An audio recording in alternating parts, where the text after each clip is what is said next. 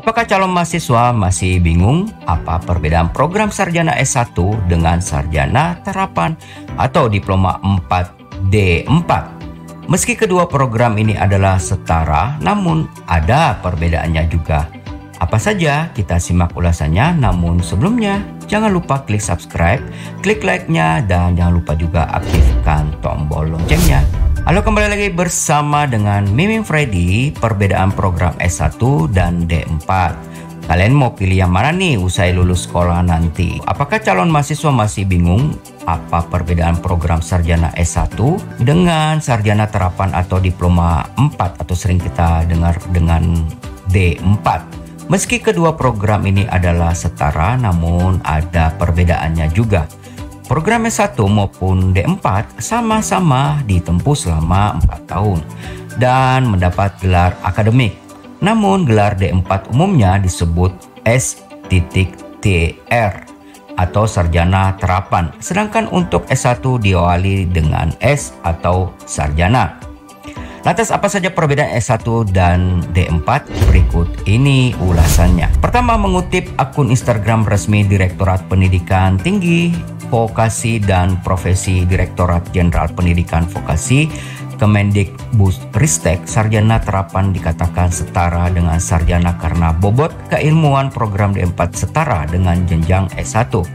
Perbedaannya terletak pada perbandingan bobot keilmuannya. Jika pada jenjang sarjana bobot teori keilmuan berkisar 70%, sedangkan bobot praktik sebesar 30%, sebaliknya terjadi pada jenjang sarjana terapan. Nomor dua dilihat dari fokus keilmuannya, lulusan program S1 difokuskan menjadi seorang ahli dalam suatu bidang keilmuan. Selama kuliah, mahasiswa dibentuk sebagai seorang akademisi dengan berbagai kemampuan mengolah dan mengaplikasikan teori ilmu pengetahuannya. Yang ketiga, jenjang D4 akan fokus agar lulusan bisa mencari pekerjaan di bidang keahlian dan praktek. Selama kuliah, mahasiswa jenjang D4 akan belajar kemampuan praktik dan pengetahuan yang lebih lengkap dibanding dengan jenjang D3, D2, dan D1. Program D4 menyediakan banyak jurusan sesuai dengan kebutuhan praktik lapangan seperti jurusan akuntansi, teknik sipil, teknik desain, komunikasi visual, teknik informatika, dan komputer dan administrasi. Di Indonesia, umumnya setiap perguruan tinggi yang menyelenggarakan sekolah vokasi juga menyediakan program kuliah jenjang D4.